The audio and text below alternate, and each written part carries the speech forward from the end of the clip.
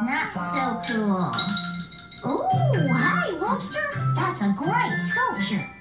You think so? Indeed, He looks just like a sea serpent. Huh?